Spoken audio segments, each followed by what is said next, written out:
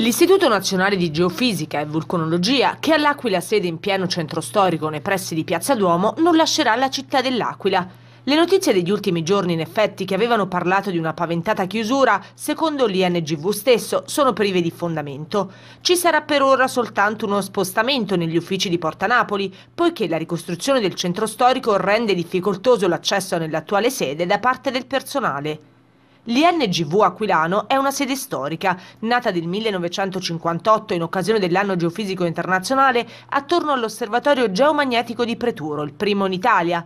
Un tema comunque che resta ancora caldo nonostante le rassicurazioni e che ha sollevato la levata di scudi dei pentastellati. Ora l'argomento approderà comunque in Consiglio regionale dal momento che il consigliere del Movimento a 5 Stelle Riccardo Mercante presenterà un'interrogazione al Presidente della Regione Luciano D'Alfonso. La sede dell'istituto, ha ricordato Mercante, si era sviluppata in realtà grazie al progetto Abruzzo, con un accordo di programma tra il MIUR e la regione stessa. Una sede fondamentale questa in un territorio come quello aquilano, dove ogni giorno ricercatori, ingegneri, geologi e fisici svolgono attività di ricerca nel campo della sismologia applicata, con contratti a tempo determinato. L'INGV, stando alle indiscrezioni, è ancora in attesa della formalizzazione di un nuovo rapporto di collaborazione con la Regione Abruzzo. Senza questo, ovviamente, si andrà necessariamente incontro ad una significativa riduzione delle attività di ricerca e probabilmente anche ad una riduzione dell'organico.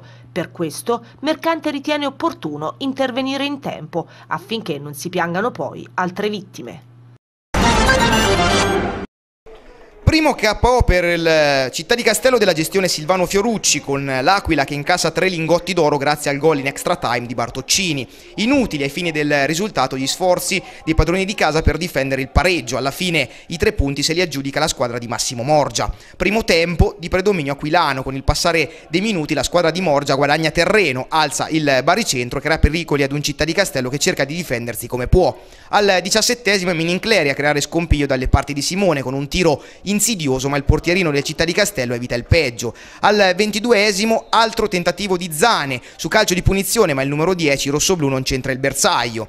Al ventiquattresimo, tiro cross di Sieno, respinto con i pugni da Simone in uscita di sicurezza. Ventiseiesimo, ancora l'Aquila in attacco, appoggio di Dictevicius per Russo che tenta il pallonetto, ma palla che si spegne oltre la traversa. Si riparte nel corso della ripresa al quinto minuto con il Città di Castello pericoloso in zona gol, con Mancinelli che recupera palla, serve l'assist per Capitan Missaglia che però non riesce a concretizzare. Passa un minuto e ancora Città di Castello in avanti con Missaglia che ricambia la cortesia dell'azione precedente con Mancinelli che non sfrutta l'occasione propizia. Al decimo minuto la risposta della formazione aquilana sugli sviluppi di un calcio di punizione battuto da Ganci. È il solito Minincleri a tentare la battuta ma il suo tiro non crea gli effetti sperati. Al quattordicesimo traversone dalla destra di Missaia, uscita dai pali di Farroni che respinge palla ma al tempo stesso va a scontrarsi con il compagno Pepe con entrambi che rimangono a terra per qualche secondo a causa del contatto fortuito fra i due. Al ventiseiesimo brividi per il Città di Castello con Russo che colpisce il palo ma l'assistente dell'arbitro Rainone di Nola aveva ravvisato una posizione irregolare dell'attaccante rossoblù. Al 43esimo ci riprova Minincleri ma la sua conclusione non inquadra lo specchio. Il Città di Castello difende con le unghie, con i denti lo 0-0 fino al 91esimo quando un'incornata vincente di Bartoccini su cross al bacio di Russo consente alla squadra di Massimo Morgia di passare alla cassa ed ottenere l'intera posta in palio. Sì, è difeso con l'unghie con i denti avendo tre palle gol nitide all'inizio del secondo tempo che cambiava, cambiava, la musica, non cambiava la qualità de, dell'Aquila perché è una squadra che a livello di qualità individuale è una grossissima squadra, però se ben mi ricordo non c'è stato un tiro indirizzato nella, nella zona del portiere, un tiro in tutta la gara, quindi la squadra sotto l'aspetto difensivo ha fatto una partita perfetta, equilibrati tatticamente, quindi cominciano a saper, a saper stare in campo. Chiaramente piano piano devi riuscire anche a fare qualcosina di più in, in fase offensiva. Io speravamo sempre, eh, il pallino del gioco l'abbiamo sempre avuto in mano noi, abbiamo cercato, avevo chiesto pazienza perché in un campo eh, bellissimo come questo ma anche molto stretto, con 10 persone dietro la linea della palla non è facile giocare, dovevamo avere pazienza, potevamo rischiare di prendere qualche infilata eh, non l'abbiamo presa se non nei primi minuti del secondo tempo abbiamo concesso le uniche opportunità, poi abbiamo sempre tenuto in mano la partita che non era facile sbloccare. Prosegue la maledizione dell'Avezzano con le formazioni sarde, con la terza sconfitta consecutiva che fa suonare l'allarme in casa marsicana dopo l'ottimo avvio di campionato e così dopo il Muravera e la Nuorese anche il Latte Dolce Sassari conquista l'intera posta al cospetto dei marsicani per l'occasione oggi in maglia arancione apparsi piuttosto spenti ma soprattutto spuntati. Una cocente delusione per i tifosi avezzanesi che pure avevano sperato in un riscatto dei propri beniamini che però non è arrivato. Al settimo il primo acuto locale locale di Aquino che servito in aria tira però debolmente fra le braccia di Garau. Passa un minuto e tocca a Padovani con un pallonetto far correre un brivido alla difesa sassarese. Il canovaccio sembra ben delineato dei primi minuti con la squadra di Pino Tortora a fare la gara durerà però poco. I marsicani in campo con una inedita maglia arancione spingono senza però scoprirsi. Al decimo però si vedono gli ospiti per la prima volta con un tiro insidioso di Palmas che costringe Lewandowski a salvare in calcio d'angolo d'angolo. I marsicani spingono, ma al 22esimo arriva il vantaggio ospite grazie a Del Rio che di testa sugli sviluppi di un angolo approfitta di un'uscita avventurosa dell'estremo marsicano mettendo il pallone in rete.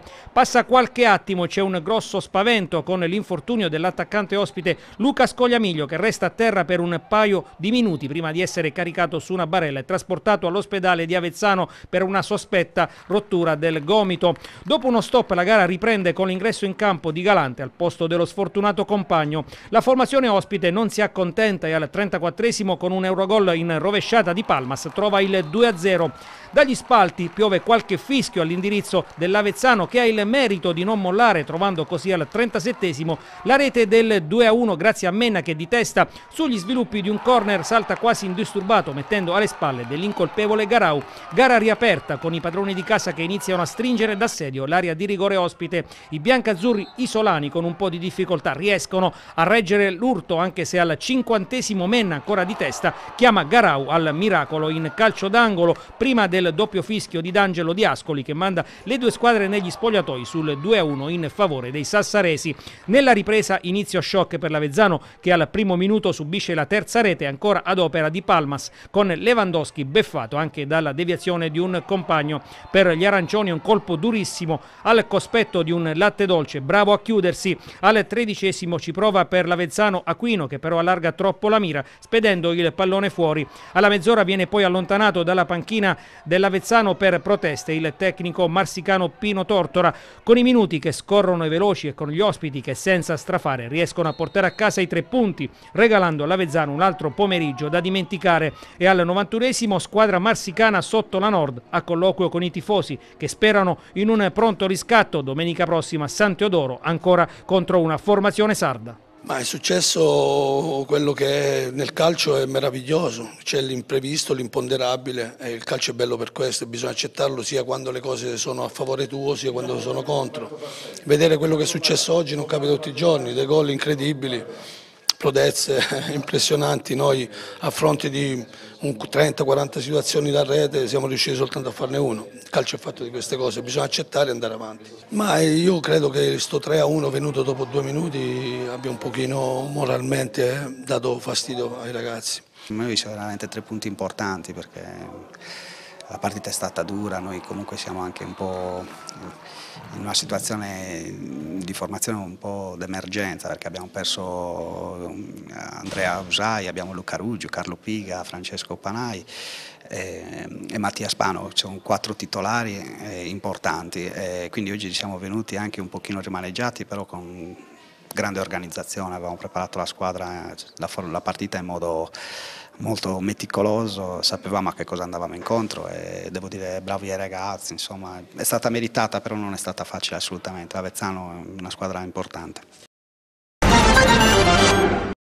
Il vero successo è quello degli appassionati di pallo ovale del capoluogo e del suo Interland, che in 2500 hanno assistito al primo storico derby tra l'Aquila e la Gran Sasso Rugby. Numeri da capogiro per l'eccellenza, massima espressione del rugby nazionale, figuriamoci per la Serie A, dove militano neroverdi e grigio-rossi. Al termine della gara il tabellino segna 26 a 20 per l'Aquila, che si conferma leader del campionato e pretendente per il salto di categoria. Per la Gran Sasso grande prova, sia sotto il profilo tecnico-tattico che di orgoglio. Passando alla cronaca, dopo i primi due giri di orologio, i neroverdi si portano avanti con un calcio piazzato di Filippo Di Marco. La giovane apertura aquilana, non preciso al piede, sbaglia un piazzato 5 minuti più tardi. È al tredicesimo che l'Aquila segna la prima delle sue tre mete. La terza linea d'aereo Bascia buca la difesa avversaria e viene fermato a pochi centimetri dalla linea di meta. Ne nasce un capovolgimento sul lato opposto che porta in meta Francesco Giorgini. La gara è equilibrata e corretta, nessun cartellino giallo fischiato negli 80 minuti e al 25 è l'apertura della Gran Sasso Riccardo Lorenzetti a fintare a 5 metri e schiacciare sotto i pali. Tre minuti più tardi Di Marco su calcio di punizione colpisce il palo. Niccolò Speranza raccoglie il pallone e schiaccia in meta, ma l'arbitro annulla. Dalla mischia che ne scaturisce, il pack nero-verde spinge e il flanker Carlo Cerasoli marca la terza meta dei padroni di casa. Cinque minuti dopo è ancora Giorgini, dopo una veloce azione palla alla mano, che porta sull'allungo più importante neroverdi, 23 a 10. Il primo tempo però termina con la meta della Gran Sasso, che si impone in mischia aperta, schiaccia oltre la linea con Domenico Guerriero e va negli spogliatoi sotto al break, 23 a 17. Nella ripresa il gioco è frammentato, l'Aquila soffre gli avanti grigio-rossi, ma migliora nelle touche. Non riesce tuttavia a concretizzare i tanti minuti passati nella 22 avversaria. Il punteggio si sblocca solo a 4 minuti dalla fine, grazie ad un piazzato centrato da Gianmarco Cialente, entrato nella ripresa al posto di Di Marco. Gli risponde al piede l'estremo sudafricano Jess Dutois, due minuti più tardi, per il 26 20 finale, che vale il punto di bonus difensivo per la Gran Sasso Rugby.